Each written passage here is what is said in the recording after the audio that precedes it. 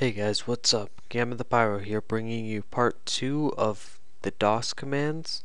So what you're going to want to do is bring up your command prompt just like that. And the first thing I'm going to show you how to do is how to edit a file. So you see I still have that matrix thing from last time and I didn't put enough numbers in so I'm going to fix that. So type in edit your file name dot bat. And then this thing's gonna appear.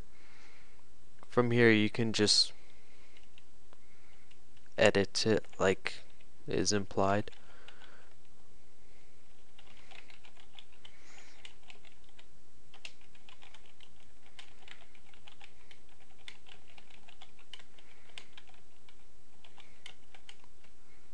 Okay, so I think now I've put in enough randoms. So, oh, if you want help, then you just press F1 on your keyboard and this appears. You can like get all your commands like control plus Q plus F to find text or something like the basic editing commands. Like pressing delete deletes the character that the cursor is on. And stuff like that. Okay.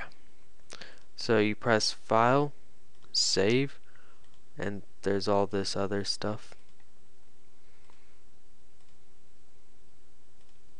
Wait a second. Yeah, you can change your colors and stuff in this editing window and then press close. No, sorry, exit. And it will bring you back here. Now if I type file name dot bat oh fail name yeah fail in typing yeah I just can't type today there we go now there are twice as many as there used to be. And it pretty much fills up the screen that it gives. Oh, and for those who noticed that I changed my background, that's because I was afraid I might run into legal issues because I just got that previous picture straight off the web. Do you guys see that green line? Oh, just went away. Right there. Okay.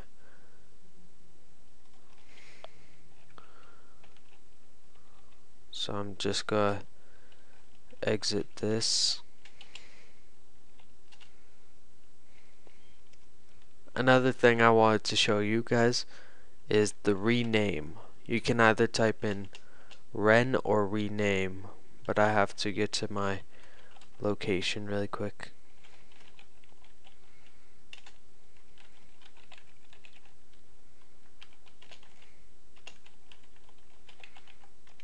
Okay. So ren file name. Dot bat. And then just press a space.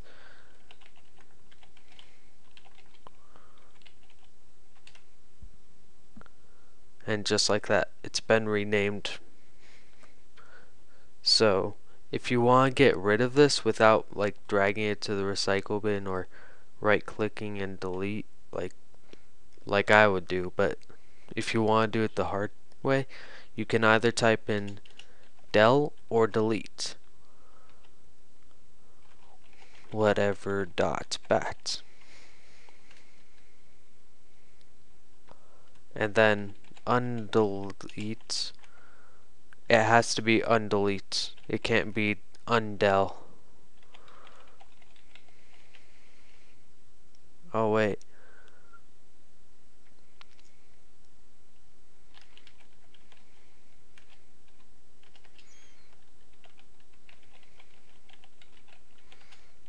Okay, well, I guess that command does not actually work.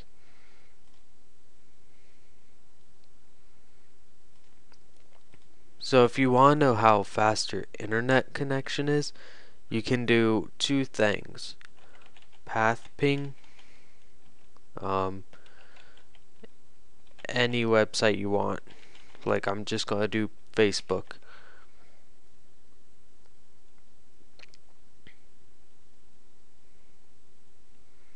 Well, actually, this isn't checking your speed. This is checking who is actually on Facebook. This is their um, system that their their service that they're using. I'm using Skybeam 2. And I think that one actually is me. No. No, it's not. But all those are just like everybody's um, IPs and information and then you have to press control C to exit that again so I think trace RT does this. No. Nope. It's ping. Just not path ping not trace RT just ping. There we go. So I sent four packets and received four, so I lost 0%. Packets are like just random information that it sends and tells it to send back, and then its minimum time is 35 milliseconds to send it back, and maximum time is 42 milliseconds. Average is 39. This can also depend on the server, so I suggest that you don't do gaming servers or servers that take up a lot of information because those seem to just not send them back as fast. What else did I want to show you guys? Yeah, I really like to use Notepad just just because it can be really handy. God, that green light did you guys see that green line? Because it just keeps popping up right there, and now it's over there. I feel like I'm like a cat trying to chase all those laser pointers or something. A dog maybe chasing a ball. Wow, that's going to get really annoying really fast.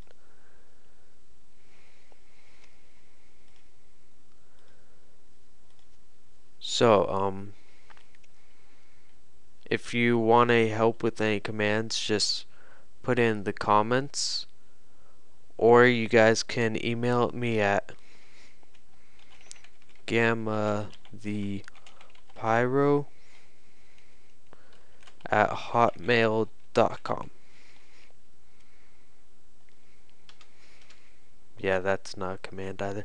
Oh yeah, and echo. I showed you guys this last time in the batch file that I made and echo just tells you something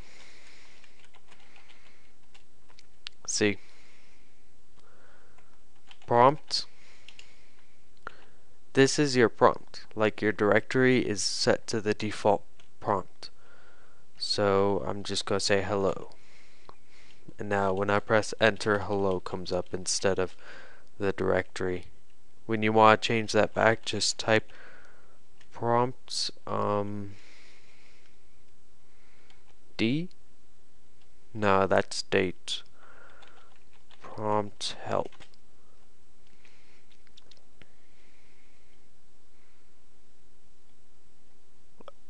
okay so it's apparently P prompt P fail there we go. So you can also do stuff like um, give me a second. I forgot what the break is.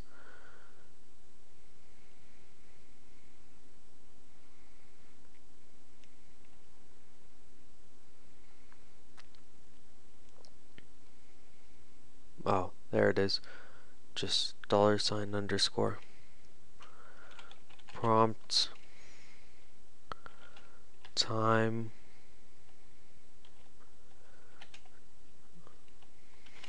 P. So that's the time right there. Go to the next line and then the current directory and path with the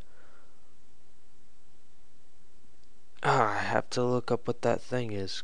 Colon? Is that it? Yeah, I think it's a colon. Okay.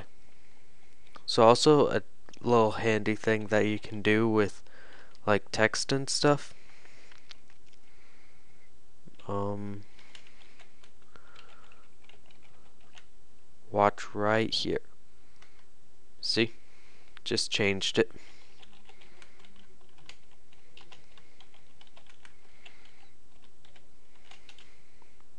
Yay!